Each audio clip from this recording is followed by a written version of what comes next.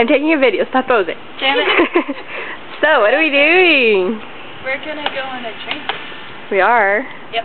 Why are you so excited? Because it's with you. It's in New York. We're gonna see Metric. And it's my first time on a train. Aww. Isn't she so adorable? Look at her with her adorableness. and there's Heather. Not being so adorable. I love you. Oh, me? Me?